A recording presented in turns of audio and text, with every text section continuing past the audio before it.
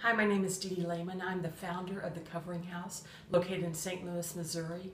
The Covering House is a place of refuge and restoration for girls who have been sexually exploited or sexually trafficked within the United States.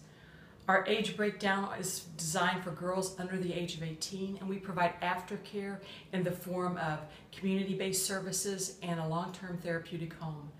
The services that we provide are uh, individual counseling, group therapy, specialized therapy in, in art, music, equine, and horticulture. We have a full education program and provide recreational activities and experiential classes. The reason why the Covering House is so important to our area is that we are one of a kind, not only in the Midwest, but actually nationwide. Within our area, uh, we work closely with local detectives and the FBI, and recently I have talked to two detectives. One told me right now she has 20 girls who need help and a place to go. And the other detective told me that he rescued three girls in one night and had no place to take them.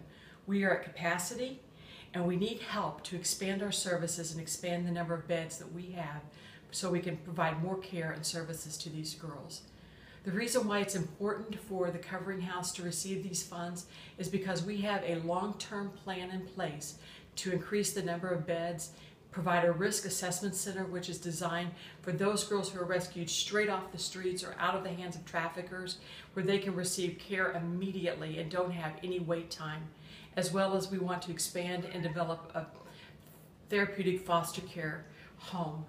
We have last year 57% of our girls that we received into our care um, had no source of funding whatsoever, and we had to absorb all of the cost ourselves.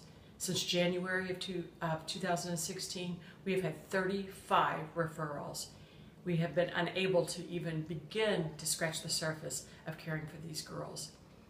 Would you please consider the Covering House and helping us help these girls by helping cover the cost of caring?